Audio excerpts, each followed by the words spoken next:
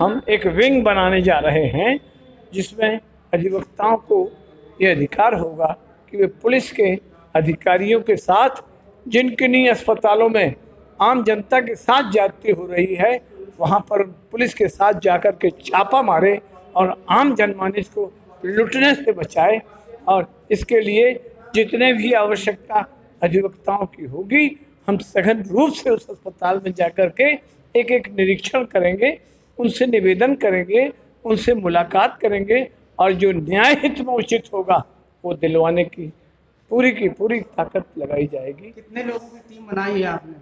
हमारे पास इस वक्त 180 लोगों की टीम है क्योंकि बाकी अधिवक्ता बुज़ुर्ग हैं। ये जवानों की टीम हमारे साथ चलेगी।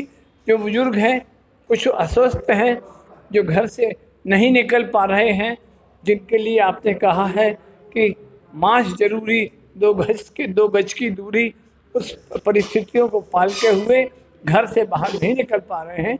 उन्हें छोड़कर जो सक्रिय हैं और जो मेरे पास उनकी स्वीकृति आई है, ऐसे 180 अधिवक्ता हैं और उनकी टीम को जहाँ कहीं भी आवश्यकता हो, मैं जनमानस से भी कह देना चाहता हूँ।